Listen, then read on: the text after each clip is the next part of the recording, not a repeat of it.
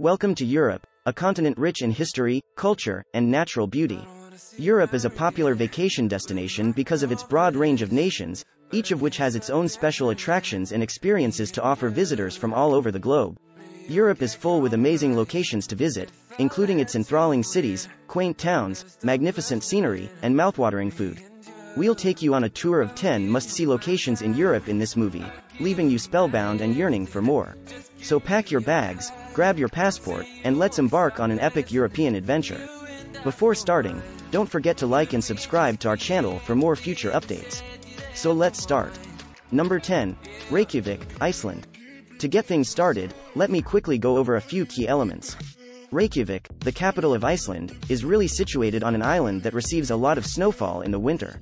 There is no denying Iceland's responsibility for the 2010 volcanic outburst. Geothermal baths are a popular way for Icelanders to escape the city's light pollution and keep warm during the long, hard winter, so they can enjoy the spectacle of the northern lights.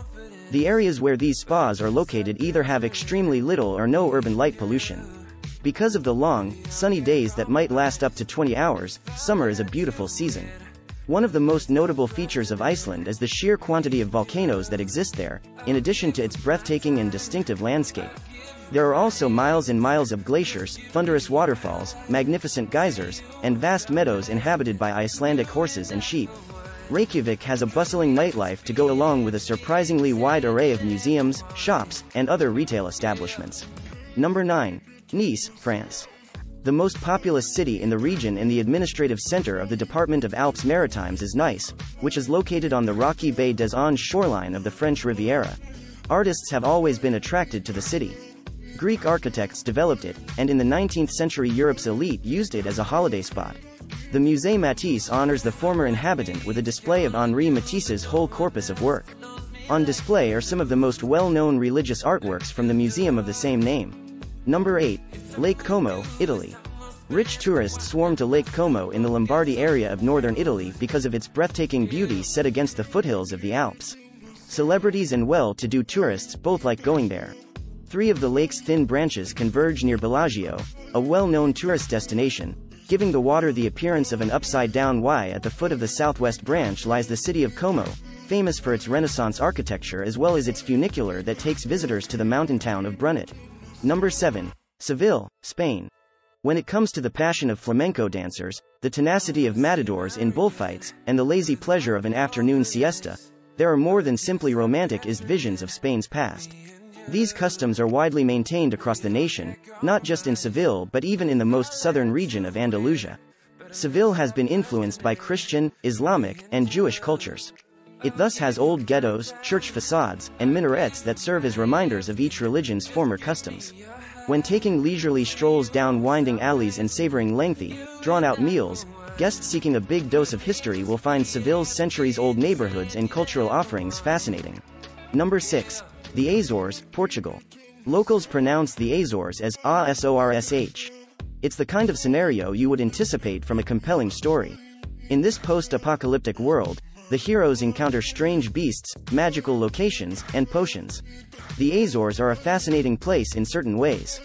The nine islands that comprise the Azores were formed thousands of years ago by a sequence of earthquakes and volcanoes, and they are situated around 1,000 miles off the coast of Portugal.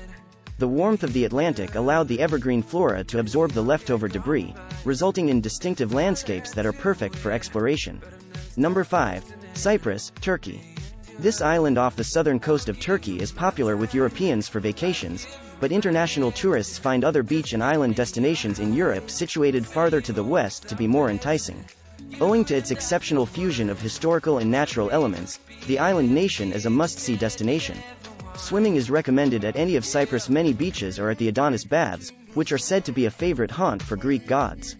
If you're interested in seeing more ancient relics, you may also go to the archaeological park of Kato Paphos, which is a UNESCO World Heritage Site and dates all the way back to the 4th century BC.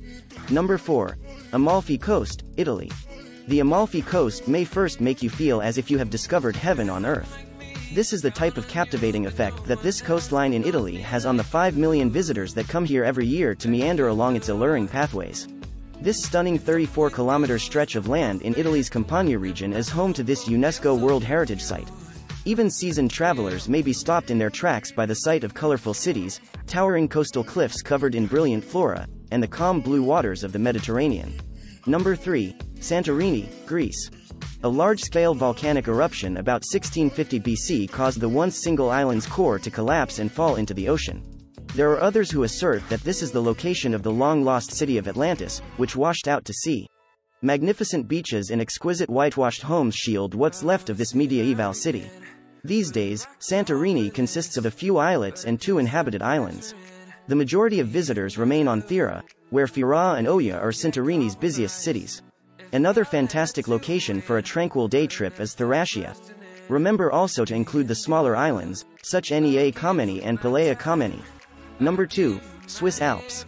The Swiss Alps, a haven for lovers of winter sports, are located south of Basel, Bern, and Zurich. In addition to the most well-liked sports in the region, skiing, hiking, and snowboarding, there are quaint towns, tranquil lakes, and breathtaking landscape. The region is a haven for travelers of all stripes and sophistication levels, and it offers access to stunning mountain resorts. Another thing that visitors to the Swiss Alps must do is eat a hot, flavorful fondue while ascending a mountain. Number 1. Cinque Terre, Italy. The Cinque Terre, five picturesque beach villages, are strewn along Italy's harsh Riviera. In every one of the five towns, vibrantly colored houses and vines cling to the slopes of precipitous hillsides. There are many fishing boats in the ports, and the most popular sauce in the region, pesto, is served in trattorias along with seafood delicacies. The Sentiero Azzurro, a cliffside hiking track that connects the settlements and provides breathtaking views of the sea, is a must-see. What do you think of our video? Let me know in the comment section below. If you enjoy this video and want to hear from me again, be sure to hit that subscribe button before you go. Thanks for watching.